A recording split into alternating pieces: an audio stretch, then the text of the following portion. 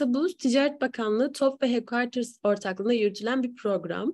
E, bu sene ana hedefimiz COBİ'lerin dijital dönüşümüne yardımcı olmak. E, sizler için onlarca ücretsiz etkinlik ve online eğitim oturumları düzenliyoruz. Bir sonraki oturumlardan haberdar olmak ve geçmiş oturumlarımızı izlemek için web sitemize göz atabilirsiniz diyorum ve bugün Fatih Turan bizimle. Fatih nasılsın? Ya, çok teşekkür ederim İlayda. Çok sağ ol. İyiyim. Ee, seni de iyi gördüm. teşekkür ediyorum. E, övünç bir me- mesaj atmış. Merhaba eğitim kaydınız olacak mı? Acil iş yerinden çıkmam gerekiyor ne yazık ki. Evet biz e, bunları zaten YouTube ve Facebook adresimizde paylaşacağız. Oradan da bizi takip edebilirsiniz. Diyorum Fatih seni bilmeyenler ya da tanıyanlar ve tekrar tanımak isteyenler için kendinden bahsedebilir misin? Tabii çok teşekkürler. Ee, öncelikle bir bağlantı şeyi geldi, uyarısı geldi ama galiba internetim iyi, fena değil şu anda göründüğü şu kadarıyla. Güzel bence. Ee, Fatih ben, e, Almanya'da yaşıyorum, ben de yaşıyorum. Daha önce e, uzun yıllar Türkiye'de danışmanlık çalışmasında bulundum. 2013-2017 sonlarında da e, Avrupa Birliği Türkiye Delegasyonu'nda proje yöneticisi olarak çalıştım. E, ee, 2018'den beri asistan danışmanlığı yönetiyorum, kurucusuyum. Ne yapıyoruz? Proje yönetim alanında çalışmalar yapıyoruz, eğitimler veriyoruz. Bir de e, Almanya pazarı tabii söz konusu olunca e, buraya giriş için neler gerekli, ne yapılabilir? Bu konuda danışmanlık yapıyorum. Headquarters'ta da mentorluk yapıyorum. Kısaca böyle ileride. Süpersin. Senin bugün bir sunumun olacak e, katılımcılarımız için. Yavaştan ona başlayabiliriz istersen. E, arkadaşlar e, chat ve Q&A kısmımız da aktif.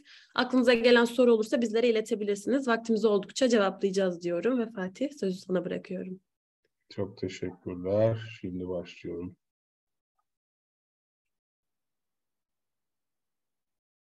Evet, görünüyor sanırım. Görünüyor, evet. Evet. Ee, Tekrar selamlar arkadaşlar. İstediğiniz zaman soru sorabilirsiniz. Tabii sonlara doğru daha hani efektif olması açısından aklınıza takılanlar olursa e, daha iyi olabilir, efektif olabilir. E, ben de Quarters'a hani mentorluk yaptığım kuruluşa e, teşekkür ediyorum. Meta programından dolayı da hem Odalar Birliği hem Ticaret Bakanlığı'nın da bu çalışmada yürüttüğü sponsorluk desteği için de teşekkür ederiz. E, bugün anlatacaklarım tabii biraz sıra dışı şeyler de var. Yani e, Almanya pazarı deyince çok böyle stabil e, bir içerik değil de daha çok sorulu cevaplı e, ve efektif bir çalışma yapmayı düşündüm ve, öyle bir içerik hazırladım. E, aslında birincisi yani ilk anlamda böyle bir startup ekosisteminden çok hafif bahsedeceğim. Daha sonra Almanya için bu eyalet bazında cazip bölgeler ve son olarak da ne gibi destekler var? e, şirket kur, kurarsak ne oluyor? Buradan e, kurmak mı mantıklı yoksa Türkiye'den temsilcilikler mi yapması daha doğru? Biraz böyle kendimce derlediğim bir çalışma. E, o yüzden e, yani güncel veriler ışığında böyle bir çalışma yapmak istedim. Tabii bazı şeyler değişiyor, uygulamalar değişebiliyor. E, eğer yanıtlayamadığımız bir şey olursa da biz mail alırız, e, mail adresinize döneriz veya İlayda vasıtasıyla size ulaşabiliriz. Evet dostlar, şimdi Almanya tabii e, özellikle pandemi sonrası bu startup ekosisteminde biraz daha farklı bir konuma geçti. Daha önce dünyada 8 veya 7. sıradaydı. E, şu anda dünyada 5. sırada, Avrupa'da da 2. sıraya geçti. Bazen tabii bu sıralar değişiyor. Güncel olarak şehirler bazında e, Berlin'in çok iyi bir atak yaptığını görüyoruz e, Almanya'da startup ekosistemi her geçen gün canlılığını koruyor.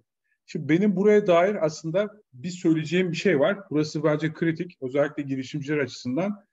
E, ürün ve hizmet konusu Almanya'da ciddi anlamda bölünüyor startuplarda. Yani eğer biz bir fintech düşünüyorsak, bir blockchain teknolojisi düşünüyorsak kesinlikle bizim ekosistemimizin Berlin'de olması gerekiyor veya Hamburg'da olması gerekiyor. Ama biz üretime yönelik bir startupsak ya da üretim üretime yönelik bir çözüm sunuyorsak biraz daha Kuzey Ren-Vesfalya eyaletine girmemiz gerekiyor ki orayla ilgili bayağı bir e, bugün anlatacaklarım var. Orada ciddi imkanlar var. E, onlardan bahsedeceğim. Yani biz e, bölümlendirmeyi şöyle yapacağız. Evet benim işim hizmet. Ben hizmetle ilgili çalışmalar yapıyorum. Startup'ım hizmet. Buna yönelik e, şehir seçmek daha güzel. Çünkü e, Londra ve Berlin yarışıyorlar e, bu anlamda. E, ben şimdi Berlin'de yaşıyorum ama hani Kuzey Ren-Vesfalya'nın avantajları biraz daha farklı. Onlardan bahsedeceğim. E, avantajlı bölgeler var. Eyaletler bazında e, biraz onlardan bahsediyorum. Kuzey Ren-Vesfalya benim dediğim gibi ilgilendiğim bir eyalet. E, burada çok ilginç e, Almanya'nın bir numaralı yatırım merkezi bu Kuzey Ren-Vesfalya eyaleti. E, en yetenekli e, kişiler burada çalışırlar. Dünya standartlarında bir ölçek sunarlar. Yani çalışanlar burada ciddi anlamda katma değer üretir.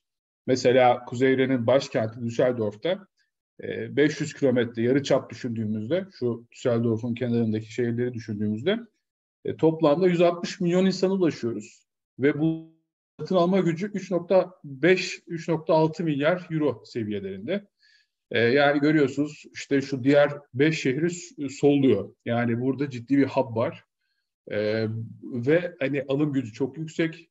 Kitle iyi, eğitimli. Buralarda e, dediğim gibi çok avantajlı bir e, şey var. Çalışma yapısı oluşturulabilir.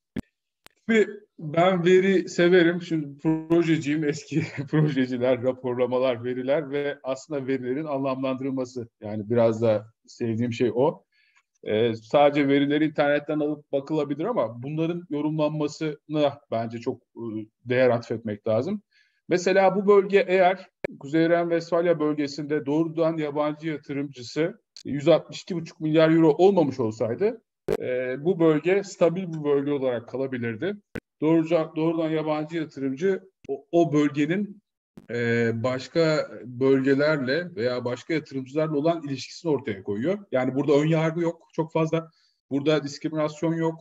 Çalışma kültürü oluşmuş, iş yapma kültürü oluşmuş. İşte head ofisler oluşmuş. Bir kültürel altyapı var. Yani doğrudan yabancı yatırımın yüksek olması çok önemli. Ve tabii 163 milyar euronun e, 697 milyar gayri safi yurt içi hasılada herkesin ürettiği toplam malın içerisindeki payı çok yüksek. E, bu bize şunu gösteriyor. Demek ki bu bölge e, doğrudan yabancı yatırımcılar sayısını arttırdıkça e, nüfus yoğunluğunun verimli olduğunu görüyoruz ve gayri safi yurt içi hasılarında çok değerli olduğunu bu bölgede görüyoruz. Ee, burada toplam 3.3 milyar euroluk bir ekonomiden bahsediyoruz. Bu 3.3 milyar euroluk ekonomi Almanya'nın toplam ekonomisi. Bizde 600 milyar seviyelerinde. Ee, tabii ihracatımız 140-150, ithalatımız 170-180. Gayri safiyi topladığımızda bizde 700 milyara yakın e, bir rakama tekabül ediyor.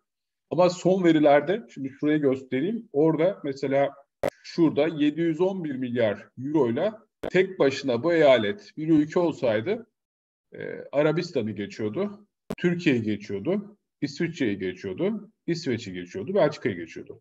Yani tek başına bir eyaletin ülke olmasını düşündüğümüzde e, bir gayri safi yurt içi hasılası ciddi anlamda değerli bu bölgenin. E, tabii bölgeye bakınca, bütün eyaletlere bakınca, holistik bakınca Almanya'daki 16 eyalette 16 eyalet arasında bu bölge 700 e, milyar küsürle ciddi bir e, gelir gelir yaratıyor. Katma değerli ürün yaratıyor, hizmet yaratıyor. E, hizmet konusuna biraz daha açacağım. Yani bu bölgede hizmet yaratıyorlar mı? Evet yaratıyorlar. Tabii bunun avantajları neler? Ne gibi fırsatlar var? Biraz oraya bakalım. E, bu bölge aynı zamanda e, toplamda yani fuar açısından bakılınca ticari e, çalışmalar açısından bakılınca iyi bir etkileşim alanı. E, yani yüzden fazla uluslararası ticaret fuarının olduğu e, yıllık işte tabii bu korona ile beraber sayılar e, değişti ama ortalama 6 milyon sadece e, ziyaretçi geliyor fuar için. E, bunlar tabii sadece fuara geliyorlar ama yatırım çekmesi açısından, bu doğrudan yatırımcı sayısı açısından bölgeye ciddi anlamda katkıları var e, bu gelen ziyaretçilerin. E, özellikle bu bölgede sanayi alanı çok iyi olduğu için bu bölgede e, gelen yatırımcı şu gösterdiğim makine sanayinde, kimyada, e, gıda maddelerinde, metalde, e, otomobilde ve diğer işte cam seramik, mobilya gibi alanlarda bir değer yaratıyorlar. E, burada tabii e, biraz bizim girişimcilerin girişimcilere göre bunlar silo yönetimi. Biz çünkü agile yönetim seviyoruz. Girişimciler ve startuplar daha çok çevik yaklaşım seviyorlar. Fakat arkadaşlar şuraya dikkat çekmek isterim. Şimdi bu sektörlerin hepsinin teknolojik dönüşme ihtiyacı var. Ve Almanya'da yapılan bir araştırmada e, toplamda 80 bin firmanın teknolojiyi ıskaladığı e, bulgusu var. Bunlar çok önemli. Yani teknoloji ıskalayan firma sayısı fazla. Silo yönetimi dediğimiz yani eski usul e, fabrikasyon sisteminin olduğu, işte üretimin olduğu, üretim hatlarının çok yoğun olduğu, bunun yanı sıra personel sayısının giderek arttığı yerde mutlaka teknolojik dönüşüm, dijitalizasyon ve e, startup ekosistemi canlı olur. Burada da sektörel anlamda biz e, yoğun bir sanayi görüyoruz. Yoğun sanayinin de teknolojik çözümlere ihtiyacı var. Bu bölgede aslında en cazip e, şey o olabilir yani. En cazip çıkardığımız sonuçlardan biri olabilir. E, Avrupa genelinde cirosu 50 ta, 50'yi bulan şirket var. Hani bizdeki BIST 30 gibi e, burada da aslında BIST 50 yani diyebiliriz. Bu Avrupa'daki şirketin şirketlerin 19 tanesinin hem genel merkez hem de büyük bir operasyonu e, Kuzeyren'de yani Köln'de e, işte Düsseldorf'ta bu bölgelerde ciddi anlamda merkez kuruyorlar. E, tabii Berlin'de de ciddi bir merkez kurulumu söz konusu. Ama hem operasyon anlamında hem merkez anlamında bir e, yaklaşım söz konusu. Türk popülasyonu da burada yüksek olduğu için burası cazip bir bölge olarak karşımıza çıkıyor. E, tabii yabancı yatırımcıdan da bahsettik. Yaklaşık yani 20 bin dolayında bunlar kayıtlı olan yabancı yatırımcı sayısı. E, bunların da 1.3 milyonu yani 1.3 milyona yaklaşık olarak tekabül eden bir istihdam oranı söz konusu. E, bu çok kritik. Yani yabancı yatırımcı ge- geldiği zaman sadece parasıyla gelmiyor veya sadece konut olarak o bölgeyi zenginleştirmiyor. AVM yaparak da zenginleştirmiyor. Demek ki katma değer üreterek zenginleştiriyor ki burası e, böyle cazip oluyor. E, bu yabancı yatırımcıları ülkelere böldüğümüzde bence burası da önemli bir veri. Ee, yani Hollanda'nın, Japonya'nın, Fransa'nın, İngiltere, İrlanda, İsviçre, Amerika, Avusturya, Belçika gibi ülkelerin yatırım e, rotası bu bölgede ise buranın gelişime sürekli açık olduğunu görebiliriz. Bu 500 kilometre yarıçap dahilindeki bölgenin sürekli ekonomik olarak gelişeceğini düşünebiliriz. Ve buralarda e, startupların e, çok büyük dönüşümlere vesile olmasa da hani yapabileceği çalışmalarda e, ciddi katma değer yaratacağını söyleyebiliriz.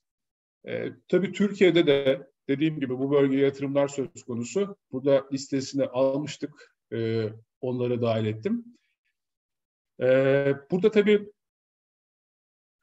en büyük yabancı ülke yani Lüksemburg. Bu, bu veriler çok önemli. Burası çok kritik değildi. Yani şurası benim için daha kritikti. Ülkeler bazında e, yani bakınca müreffeh seviyesi yüksek olan ve hani sürekli teknolojik anlamda Adriyatik'in iki yakası olan Adriyatik biliyorsunuz Amerika'nın e, bir de Avrupa'nın bir tarafı olduğu için bu Adriyatik denizi arasındaki bütün e, şeyler, e, yapılar ticarete açık alanlar olarak karşımıza çıkıyor. E, bizim özellikle e, Türkiye'nin de hani bu bölgede e, yabancı yatırımcı sayısında ciddi bir artış olduğunu söyleyebilirim.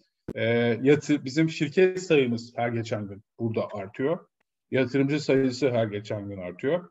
E, toplam çünkü bizim tarihten gelen bir kültürümüz var. Hani 60'larda başlayan göç hikayesiyle beraber şu anda yaklaşık bir buçuk milyon Türk vatandaşı e, burada yaşıyor ve Kuzey Ren Vesfalya bölgesinde de her üç vatandaştan bir tanesi Türk e, olduğu için e, yani Türk gelenekli Türk genine sahip olduğu için burada ciddi bir e, popülasyonumuz var.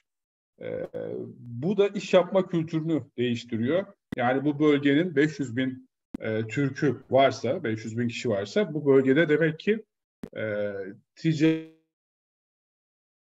e, bölgesel anlamda Avrupa ile yakınlaşan bir popülasyonumuz olduğu için burada e, esnaf kültürümüz var. işte dönerciler e, var, ne bileyim sadece dönerciler değil, fabrikalarımız var tabii. Şimdi ciddi fabrikalardan bahsedeceğiz. E, burada bir Türk kültürü var. E, demek ki bir yabancı yatırımcı buraya gelince Türkiye'den e, çok fazla yabancılık çekmeyeceği bir ortam çıkacak karşısına. E, tabii burada e, ciddi dinamikler de söz konusu. E, yani Berlin'de de 100 bin küsur Türk var. İşte 2 milyon nüfus var. 106 bin. Her 20 kişiden e, bir tanesi e, şey Türk.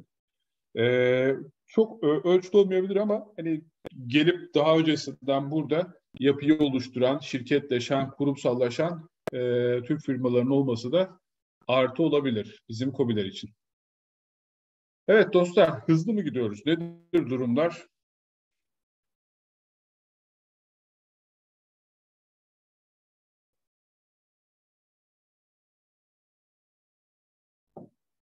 Devam. Harika. Ee, tabii bizim toplamda yaklaşık 30 milyarlık bir e, değişmekle beraber rakamlar 30-40 milyar arasında bir ihracat ithalat hacmimiz var. Dış ticaret payımız var. E, bu bölgede de biz ciddi anlamda e, Türkiye olarak e, Avrupa'nın işte ortasında göbeğinde yer alan NRV ile e, yani buradaki eyaletle ciddi bir diyalogumuz söz konusu. Ticari partnerimiz, en büyük ticari partnerimiz bu bölge oluyor.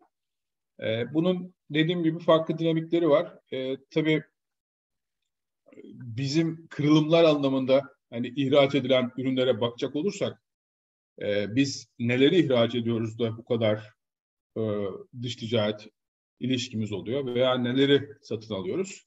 Yani yine kabaca bakınca aslında Türkiye'nin e, en çok ihracat et, ihracata konu olan ürünlerine göz önüne aldığımızda e, kabaca o ürünler yine çıkıyor karşımıza. Çok ilginç bir şey var bu arada arkadaşlar. E, yani ihracat verilerinde biz en büyük ticari partnerimiz olarak Rusya ve Almanya'yı görürüz Türkiye'de. E, genelde ihracat ve ithalat ithalata konu olan ürünlerin aynı olduğunu görürüz. Yani yedek parçalık yedek parça veririz. Bunlar bazen dahilleştirme rejimi denilen dış ticarette o ilkeyle oluşan bir e, kültür haline geliyor. E, veya bizim e, işte Dilovası'nda olan fabrikalarımızın aslında Almanya'nın birçok alanına hitap eden kuruluşlarla yakın çalıştığı için Dilovası'da fabrikası var. Ya da ekonomik anlamda Türkiye bir darboğaz yaşadığı zaman e, burada en yüksek seçilmiş kişilerin gelip Türkiye'yi ziyarete e, ziyarete gitmesi boşuna değil. Yani orada da buraya hizmet eden ciddi bir ticari altyapı söz konusu. Kabaca biz metal veriyoruz, metal ihraç ediyoruz, makine ihraç ediyoruz, kimyasal ürünler ihraç ediyoruz, e, taşıt yedek parça ihraç ediyoruz ve bilgi işlem cihazları, elektronik ürünler ihraç ediyoruz.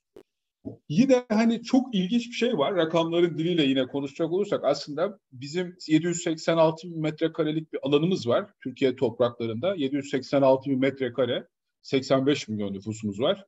E, Almanya'da 380 bin metrekarelik bir alanda 83 e, milyon kişi yaşıyor. En ilginç noktası e, hektar anlamında yaklaşık 17 milyon hektar alan tarıma açık. Bizde de e, 1 milyon bile açık değil. Yani bizden tarım anlamında çok çok iyi noktadalar ve e, tarımı ciddi anlamda destekliyorlar. E, toprak yüz ölçümleri bizim yarım, yarısı olmasına rağmen burada ciddi bir e, verimlilik söz konusu. Ha bunu yağışa bağlayanlar da olabilir. Ya işte iklimimiz aynı mı kardeşim? Orasının iklimi yağışlı. İşte şöyle böyle. Hayır çok yağış da verimliliği düşüren bir şey. E, burada e, akıllı tarım uygulamaları ve enerji e, konusunda ciddi bir e, sistem var, stratejik bakış var ve bunlar hep yasal noktalarda e, garanti altına alınmış durumda. E, bunlar bence çok kritik. Yani bir bölgeye yatırım yapmak açısından o kültürü de çok iyi biliyor olmak ve e, oraya açılırken e, nasıl bir e, regülasyon var, oraları bilmek açısından bunlar çok kritik veriler. Evet. Peki ihraç ettiğimiz ürünleri demin saydım. Neyi ithal ediyoruz? Bakın aslında bu grafin e, bir benzerini ithal ettiğimiz ürünlerde göreceğiz. Yani taşıt yedek parça ithal ediyoruz. Hazır giyim ithal ediyoruz. tekstil ithal ediyoruz, makine ithal ediyoruz ve gıda ithal ediyoruz. Ee, Türkiye'de Türkiye'ye gelen mallar ise dediğim gibi metaller, makine, kimyasal yani bu saydığımız ürünler. Evet. Şimdi tabii e, bu YouTube'da yayınlanacak ama marka vermekte sorun var mı bilmiyorum. Marka isimleri e, vermek gerekir mi? E, acaba bir şey olur mu? Ama biz çok isim zikretmeyelim. E, şöyle yapalım. Yani Türkiye'den bu bölgeye 700 tane şirket, yani bilinen, Türkiye'deki bilinen 700 şirketin yerleşik ofisleri burada. E, ofis operasyonlarını burada yürütüyorlar. Hatta son zamanlarda e, ciddi bir firmamız e, Berlin'de ofis açtı. E, Türkiye'nin en çok e en çok ziyaret edilen ve en çok kazanan herhalde e-ticaret sitesi diyebiliriz. Yani isim vermeden bir adresleme yapmamız gerekebilir. Ee, onlar geldiler. Onun dışında yine e, isim vermeden bir firmamız daha var. O da geldi ve Kuzey Ren Vesfalya bölgesini seçti. Lojistik anlamında çalışan, akıllı çözümler uygulayan ve e, ciddi anlamda İstanbul'da başlayıp buralarda ekipleşen, e, güzel bağlantılar yapan iyi bir lojistik firması buraya geldi. Startup, iyi bir startup. Ve diğer yerleşik startup olmayan ama üretimi olan, bağlantıları olan, ticari geçmişi olan, müşteri portföyü oluşmuş şirketlerimiz burada. Yani gıda, mobilya, işte kimya ve diğer alanlarda e, şeyler, firmalar buraya geliyorlar ve e, burada devredilmeyi bekleyen belki yüzlerce şirketler arasında da şirket satın almaları gerçekleşiyor. Oradan yola çıkarak da e, bayağı güçlenen firmalarımız var. E, aslında şöyle Türk firmalarının yatırım amaçlarının şöyle bir diyagramı olsa aslında bunu bir diyagrama yansıtmamız lazım ama e, şöyle diyebiliriz. Lojistik firması, tıp ve sanayi üretim yapan firmalar burada bu bölgede daha çok konuşlanmış durumda. Sanayi, tıp ve lojistik. Şimdi bunlar çok geleneksel ya. Bunların dönüşmesi çok yakın zamanda olacağı için buradan teknolojik yatırım yapacak olan firmaların olması veya Türkiye'de merkezi olan bir firmanın burada temsilcilik açması e, bence gelecek 5 yılların 10 yılların en büyük konusu ve ciddi potansiyelleri var. Çünkü ben demiyorum kendi rakamları ve kendi çalışanları, kendi vatandaşları bölgede e, teknolojik gelişmeleri yakından takip etmek istediğini ve teknolojik çözümlerin mutlaka bu bölgelerle e, penetre olmasını istiyorlar. E, o açıdan da bizim firmalarımıza ciddi fırsatlar söz konusu diyebilirim. Evet, ulaşım altyapısı zaten birçoğunuz biliyorsunuzdur. Avrupa'ya geliyorsunuz, gidiyorsunuz, görüyorsunuz. Ee, bu bölgede özellikle Kuzey İran bölgesinde e, yani hemen hemen 450 uçak söz konusu gün içerisinde. E, bu iki tane uluslararası havalimanı var. 352 tanesi Avrupa'ya uçuyor, 28 tanesi Almanya için. 39 Afrika uçuşu var, 15 Asya kıtası var, 11 de Amerika kıtası var. E, buralarda taşıma, lojistik akıl almaz seviyelerde gelişmiş düzeyde. Yani 600-700 kilometre yol yapıyorsunuz. Kilometreler boyu e, şeyler görüyorsunuz, tırlar görüyorsunuz. Hiçbir tesadüf değil. Çünkü Avrupa'nın üretim üssü ve e, lojistik üssü aynı zamanda. E, burada hem kargo hem e, karayolu hem deniz yolu ciddi anlamda gelişiyor. Navlun bedelleri değişmesine rağmen e, deniz taşımacılığı sürekli aktif halde.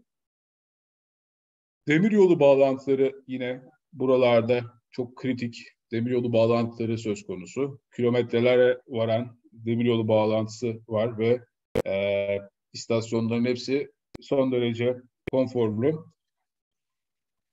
E, su yolu var. Bu su yolu tabii e, bizim özellikle İzmir'den, İstanbul'dan e, Hamburg'a çok e, gelen e, gemilerin olduğunu biliyoruz ve özellikle e, Avrupa'nın bir kısmından yine buraya gelen veya Adriyatik'in yakasından dediğim gibi oradan deniz yoluyla bu bölgeye gelen çok sayıda firma var.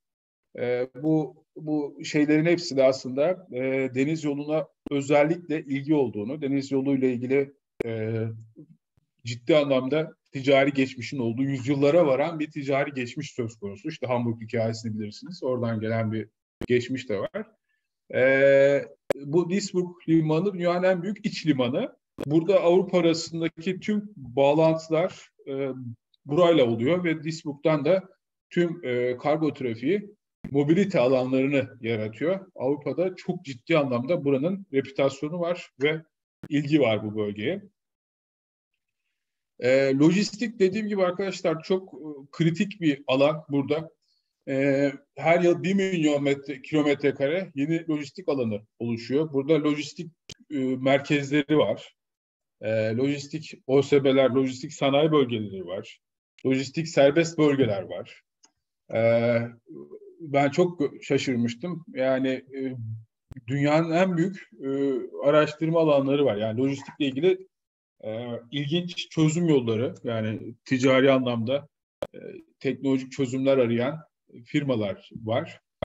E, bu tabii özellikle işi lojistik olan startuplara, girişimcilere de burası ciddi bir popülasyon ve e, hedef grup yaratabilir.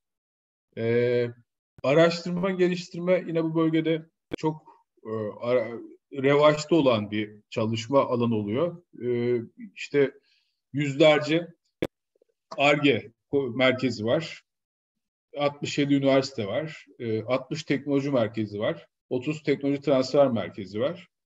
E, ve araştırma kuruluşu var üniversite dışında 50 tane. Bunlar gerçekten spesifik anlamda çalışan, orada değer üreten, günün sonunda çıkar, e, ciddi bir e, dişe dokunan çalışmalar yaratan merkezler.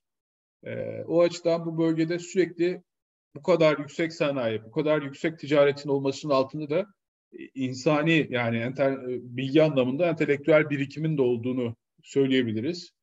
E, çünkü o hani grafikte bahsettiğim yaklaşık 160 milyon insanın e, hemen hemen hepsi belki de e, ciddi bir ticari geçmişe sahip. E, özellikle özür dilerim ticari değil e, bilimsel geçmişe veya e, eğitim geçmişine sahip. O açıdan bunlar birbirini destekleyen veriler. E, mükemmeliyet, mükemmeliyet merkezleri var ve araştırma merkezleri ciddi anlamda enstitüler buralarda konuşlanmış durumda. E, geleceğin dijital merkezleri yine buralarda konumlanmış durumda. E, startuplar için e, özellikle dijital ekonomi e, merkezleri, startup merkezleri ve e, hızlandırma operasyonları söz konusu. Bizim tabii bugün bu, bu kısım hani daha çok şu ana kadar anlattıklarım e, bir startuplara bir hızlıca bir aperatif artı Kuzey İran bölgesinin cazip yanları. Şimdi biraz da e, Türkiye'den buraya hani gelen şirketler açısından nasıl bir destek yaratılabilir veya burayla ilgili merak edilenler neler? Aslında biraz da oraya girmek istiyorum. Şimdi dostlar özellikle e, Ticaret Bakanlığı bu e, Bilişim Yıldızları diye bir program açıkladı. E, burada Bilişim Yıldızları programında e-Turquality desteği vardı. E-Turquality desteğinde e, çok pardon bu arada sorular geldi ama arzu ederseniz sunum biterse daha iyi olur e, cevaplandırma. E, böylelikle hızlı bir akış sağlamış oluruz. E, Ticaret Bakanlığı Türk desteği çıkardı. E, Türk desteğinde Bilişimin Yıldızları diye bir program açıkladı. Burada birkaç yıllık e, şeyler var, destekler var. Şimdi onları anlatırken tabii özellikle e, yıl bazında 3 yıllık, 5 yıllık e, proje destekleri söz konusu oluyor. Ne gibi destekler var? Şimdi eğer alanımız şu gördüğünüz alana giriyorsa, çalışma alanımız buraya giriyorsa, yani yeşil dönüşüm yapıyorsak, yazılım yapıyorsak, blockchain varsa, 5G varsa, telekomünikasyon varsa, e, e-spor üzerinde çalışıyorsak, yani kabaca şu gördüğümüz alanda çalışma yapıyorsak Ticaret Bakanlığı yurt dışı ile ilgili e, ihracatın yıldızları programında bunu önemsiyor. Diyor ki biz size bu 11 alanda e, size uyan bir çalışmayı projelendiririz ve bütçelendiririz diyor. Nedir bu? E, özellikle en çok gelen şey e, bize hani yurt dışından e, bir pazar araştırması istiyoruz. Pazar araştırmasının boyutlarını soruyoruz. İşte e, buraya yatırım yapmak istiyorum. Doğru bir yer mi? Müşterim bu. E, işte e, ürünüm bu. Acaba orası için doğru yer mi? Falan deyip böyle bir başlıyoruz görüşmeye e, firmayla. Sonra çalışmalarımızı yapıyoruz, gönderiyoruz. E, bir bakıyoruz daha kapsamlı şeyler çıkıyor karşımıza. Hani bunların projelendirilmesi ve bu rapor desteğinin kapsamının e, firmaya aktarması açısından e, bakanlık böyle bir aracı e, şey sağlamış oldu. Aracı bir destek sağlamış oldu. Bunlar e, rakamlar değişiyor. Şeyi tanımak lazım, firmaları bilmek lazım. E, faaliyet konumuzu bilmemiz lazım. Ne yapacağımızı bilmemiz lazım ki aslında bu, bu desteklerin daha böyle e, nüfuz etmesi lazım e, bize. O yüzden burayla ilgili sadece böyle bir teorik birkaç şey söyleyebilirim. Pratikte aslında direkt e, bizimle ileride vasıtasıyla da iletişime geçebilirsiniz veya mail vasıtasıyla. Orada daha detaylı konuşabiliriz. Ama özellikle bu e, e-Turquality programında, İhracatın Yıldızları programında çok ciddi e, destekler var. Şimdiye kadar görmediğimiz tarzda destekler var. Biz e, Türkiye'den e, yazılım anlamında çalışmalarımızı yapıyoruz. İşte donanım anlamında da Avrupa'da çalışmamızı sürdüreceğiz veya donanım burada yazılım desteğini Avrupa'dan alacağız. Burada kiralamalar söz konusu olabiliyor. Çok teknik detaylar var. Ee, veya bir ülke pazarına girmek istiyoruz. O ülke pazarında hedef ülkeler var ki bu hedef ülkelerden biri de Almanya. Ee, bu hedef ülkeye nasıl girebilirim? Bu pazara giriş sağlarken neleri e, doğru yaparım gibi bu sorulara yanıtlar söz konusu. E, veya dediğim gibi diğer alanlarda araştırmalar, geliştirmeler yapabiliriz.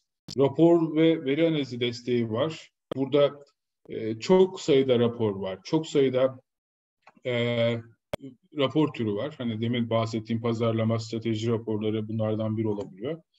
E, belgelendirme istiyorsunuz. İşte onlarca belgelendirme türü var. Sizin niteliğinize göre bir araştırma merkezinde çalışıyorsanız oraya yönelik bir faydalı model, patent başvurusu yapacaksanız oraya yönelik bir belgelendirme desteğine ihtiyacınız olabilir. Ve Avrupa menşeli olmasını isteriz. Avrupa onaylı olmasını istiyoruz. Yani buradaki firmaların birçoğu Avrupa onaylı e, isterler. E, özellikle ürün ve hizmetler konusunda bir menşe e, menşede bazen sorunlar yaşanıyor. O yüzden Avrupa'dan olması daha iyi olabiliyor. Ee, hani buralarda destekler söz konusu oluyor. Ee, özellikle hani bu programa mutlaka bakmanızı isterim. Ee, bu dediğim gibi ihracatın yıldızları programı, e-Türk programında da biz size gerekli danışmanlığı verebiliriz. Profesyonellerle çalışıyoruz. Bu anlamda da e, size doğru bilgileri verebiliriz. Şimdi tabii şimdiye kadar anlattık. Ee, bir de şöyle yapalım. İletişim bilgilerimizi verelim. Ee, burada İzmir merkezli şirketiz biz. İstanbul'da da ofisimiz var tabii.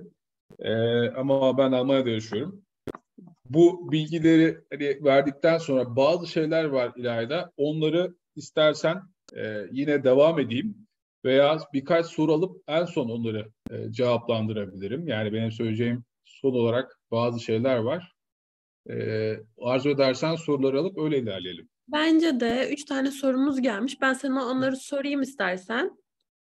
Ee, Ferhan Sivri Avcı sormuş. Ee, Türkiye'de pazarlama danışmanlığı yapıyorum. İhracat yapan ve Almanya'da fuarlara katılan müşterilerimin basın ve medya mecralarında haber çalışmalarını yapabileceğim partnerleri arıyorum. E, müşterilerimi Almanya'da duyurmak istiyorum. Önerileriniz benim için çok önemli demiş. Bence seninle iletişime geçebilirler bu konuda. Evet, evet. Yani şimdi bu YouTube'da yayınlanacağı için Aynen. çok isim, marka vesaire zikredemedim. Ee, Bence Ferhan e, seninle iletişime geçse daha yararlı olacak. Evet, evet, evet. Ferhan e, tabii ki. E, tamam. Buyurun. E, el mi kaldırıyor Ferhan? Evet, kaldırıyor. Ferhan Bey de olabilir. Ben mı? E, isterse chatten ya da Q&A'den yazabilir. O arada da e, Şebnem'in sorusuna bir geçeyim. Hı hı. E, butik ürünler üreten ve küçük işletmeler için neler önerebilirsiniz? E, ben el yapımı takı yapıyorum ve tasarım ürünler satan e, mağazalarla iletişim kurmak istiyorum demiş. Otto.d'ye girsin. Otto.d pazar yeri burada. Çok iyi bir pazar yeri. Ee, yazayım mı onu veya nasıl yapalım? E, tamam ben şimdi göndereceğim. Otto.d evet. zaten. Evet Otto.d ciddi bir pazar yeri ve e, sizin ürünlerinizi sergilerken çok e, mesela e, Zalando gibi değiller. E, e, ya çok marka vereyim mi bilmiyorum ama hani neyse biraz sizin ürünlerinizin de daha nitelikli olması için hani daha nitelikli olduğunu düşündüğünüz ürünler varsa bu pazar yerlerinde kaybolmaması açısından güzel mecralar var. Otto'ya girilebilir ve bu da çok güzel bir firma. E, kolay, girmek de kolay. Herhangi bir şey ben istemiyorlar. Ben chatten paylaştım. E, bakabilirsiniz diyeyim. E, Vedat bir tek sıkıntı şu, İlayda çok pardon. Bir sıkıntı şu, bir ay boyunca aldığınız tüm ürünler, Avrupa için, yani Almanya için söyleyeyim, e, mağazadan da alsan, internetten de alsan 30 güne kadar tüketici onu iade etmekle e, özgür, iade etmekte özgür. Yani bu e, bazen sorun olabiliyor geri teslimatlarda. Ama e, 30 gün boyunca iade etme durumu söz konusu tüm ürünlerde. Buna biraz dikkat etmek lazım. Ee, Vedat demiş ki sunumu alabilecek miyiz demiş. Bilmiyorum yani Fatih vermek ister misin? Olur tabii ki. Tabii tabii tabii ki. Tamamdır. O zaman şey e, Vedat senden rica etsem sen bana bir mail atsan. E, ben mail adresimde ya da Fatih'e de atabilirsin. Onları da paylaşalım öyle ilerleyelim. Tamamdır. E, Nisan Nur yazmış. Kimyasal ile çalışıyoruz, ürünler üretiyoruz, ihracat yapmak istiyoruz. Nasıl yapmalıyız? Kimyasal ne diyor? Kimyasal ile çalışıyoruz. Ürünler üretiyorlarmış, ihracat yapmak istiyorlarmış. Ee, ben tam anlayamadım. Yani kimyasal ile nasıl çalışıyorlar? Hangi ürünleri? Yani isterse bir iletişime geçebiliriz. Ee, hangi ürünler? Kimyasalda hangi ürünler? İhracat yapmak istiyorsunuz. Ee, şu istek gayrete dönüştü mü? Mesela onu da sorayım. Bir gayret de var mı? Denemeler oluştu mu? Müşterilerle ilgili herhangi bir iletişim oldu mu? Ee, bir oraya tabii bir iletişime geçebiliriz. Tamamdır. O zaman sen e, ilerleyebilirsin istersen konularında. Ona göre soru geldikçe sorarız. Tamam. Ee, kayıt devam ediyor mu? evet. evet. Şimdi değerli dostlar. Ee, bu bilgiler biraz daha aslında e, in-house bilgiler de yine de bazı kısımlarını aktarmak istiyorum.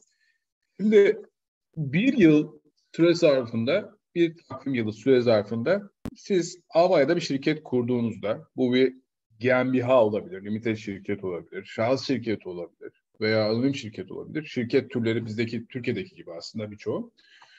Ee, bu şirketi eğer şahıs olarak kurarsanız 17.500 euro bir yıl içerisinde 17.500 euro ciro yapmayana kadar vergi alınmıyor sizden. Eğer biz bu şirketi e, anonim şirket olarak kurarsak veya limite şirket olarak kurarsak sektör türüne göre değişir. E, şirketinizin türüne göre değişir. Çalışan sayınıza göre değişir. Ama burada da kabaca 45 bin euroya kadar vergi alımı söz konusu değil. Yani bizim Türkiye'deki gibi e, şirketi açar açmaz, kontağı çevirir çevirmez vergisel bir şey buralarda olmuyor. Ama kesinlikle ve kesinlikle e, kazanacağınız paranın nereye gideceğinden yatırımınızın nasıl olacağına dair. Neyi yapmak istiyorsunuz? Çok ciddi bir business plan gerekiyor. Çok ciddi bir business plan gerekiyor. Ee, burada ya business plandan kast paperwork değil yani. Hadi otur business plan yap, kalmasın bu. Tabii ki gerekiyor. Tabii ki onlar da olmak zorunda ama e, bizim yani burada benim gördüğüm ve hani e, tanıştığım biz, ekip de kurdum ben. Benim ekibimde işte e, doğma büyüme buralı olan e, ve uluslararası deneyim olan mali müşavirlik de yapmış. E, aynı zamanda hizmet sektöründe çalışmış biri var. Onunla da geçen konuştuğumuzda e, özellikle bu sunum için konuştuğumuzda e, en çok dikkat çekilen noktalardan biri bu oldu. Hani kazanacağımız parayı ne yapacağız sorusunu da bilmemiz lazım burada. Ve onunla ilgili aslında biraz e, danışmanlık lazım. Yani sadece yatırım yaptım, müşteri buldum, hadi hurra gidiyorum değil. Gerçekten sistemli bir bütünsellik gerekiyor bunun için. O yüzden e, 45-50 bin euroya kadar bir yıllık ciro yapmayana kadar bir yıl içerisinde. İkinci yıl yaptım ne olur? İkinci yıl yaparsan alırlar belki. Ama 50 bin euro banttır e, AŞ ve Limited'de. Şahısta da 17.500 euroya kadar bant. Bu bandı aşmayınca vergi ödemiyorsun. E, bu eyaletler arasında 16 tane eyalet var burada. E, eyaletler arasında vergi farkı yok. E, bir eyaletten bir eyalete fatura kestiğinde, iş yaptığında herhangi bir e, vergi farkı ödemiyorsun. E, vergi açısından en avantajlı bölge değişir ama Kuzey Ren Vesfalya bu konuda daha iyi, ticari geçmiş daha fazla olduğu için vergisel anlamda avantajlı. Ama bir fintechsen, blockchain teknolojisiysen, e, yazılım çözümleri üretiyorsan, biraz hizmet sektöründeysen tabii ekosisteme yakın olan yerler daha burada önemli. E, Berlin gibi. E, burası kritik. E, burada depoyu kur, burada bir depom var. Şirketim Türkiye'de ne yapabilirim? Buraya temsilci atayabilirim. E, temsilci atadığın zaman şirket kurmak zorunda değilsin. E, şirket kurmak zorunda kalmadığın için temsilci maaşını vermek zorundasın. Onun e, bürütünü 3500-4000 euro gibi bir rakama tekabül ediyor. 2000-2500 euro bandında bir maaş verirsen temsilcin burada olur, operasyonu Türkiye'de olur, burada depon da olmuş olur. Yani eğer depo olacaksa, böyle bir iş yapacaksan bununla ilgili herhangi bir vergi ödemiyorsun. Ee, sadece finans anttan kayıt yapıyorsun. Buradaki e, hazineye diyorsun ki ben burada temsilciyim, şu firma e, işte orada çalışıyorum, Türkiye merkeziyim. Burayı da depo amaçlı kullanıyorum. Bu temsilci olursa böyle bir durum söz konusu. Efendime söyleyeyim burada kurumlar vergisi ve gelir vergisi 15-15'tir. KDV %7 ve %19 arasında değişir. Ee, hemen hemen vergi sistemi açısından %40-50 arası vergiler ortaya çıkıyor. Yani e, değişiyor tabii yaptığınız işe göre e, değişebiliyor. E, ama e, bizdekine benzer bir sistem var diyebiliriz. E, onun dışında bazı bilgiler daha var. Onu özellikle e, sonra anlatalım diyelim veya isteyen merak eden olursa daha detaylı aktarabiliriz. E, ben teşekkür ederim İlayda. Güzel bir benim için güzel oldu. Soru varsa yine alabilirim. Asıl biz teşekkür ederiz. Ee, geldiğin için de beni kırmadığın için de e, ben çok kısa bir hatırlatma yapmak istiyorum. Sizlere chatten geri geri geri bildirim formu gönderdik. Hatta tekrar gönderiyorum. E, iki dakikanızı ayırarak cevap verebilirseniz çok sevinirim. E, öneriniz olursa da yazabilirsiniz. En ufak bir şikayetiniz olur olursa da yazabilirsiniz. Ben onları kontrol ediyorum. E, sorunuz varsa alabiliriz hazır Fatih'i de yakalamışken. Onun haricinde bizlere zaten ulaşabilirsiniz. Diyorum. Bekleyelim bakalım bir iki dakika belki sorular gelir. Süpersin bu arada. Cidden teşekkür ederim geldiğin için. Rica ederim. Ee, arkadaşlar sorunuz var mı? ee, sanırım kimsenin sorusu yok.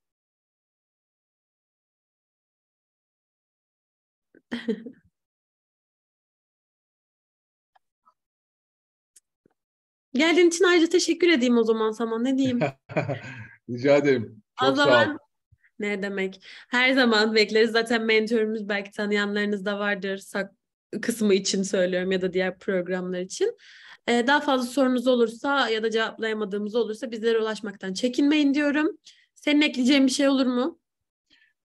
Ben çok teşekkür ediyorum. Herkese çok çok selam, sevgi. Bekliyorum herkesi. Tamam. Yolu düşen olursa. Sana ulaşacaklarmış. Bana öyle bir mesaj geldi şu an.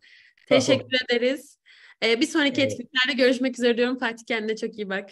Çok selamlar. Bay bay. Hoşça kal.